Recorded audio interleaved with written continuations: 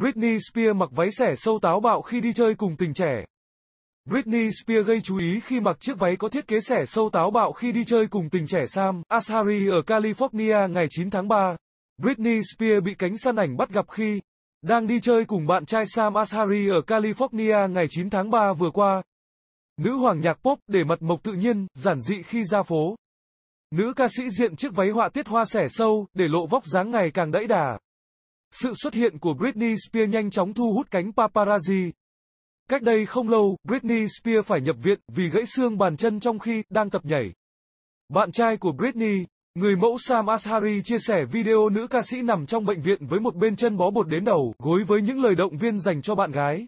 Britney Spears hiện đang tận hưởng hạnh phúc bên bạn trai kém 13 tuổi. Gạch chéo chấm. Xin hãy để lại ý kiến về giọng đọc của tôi, tôi sẽ tiếp thu ạ. Trân trọng cảm ơn quý vị và các bạn đã quan tâm theo dõi. Xin hãy cho một lượt thích chia sẻ và đừng quên bấm nút theo dõi kênh xin chào và hẹn gặp lại.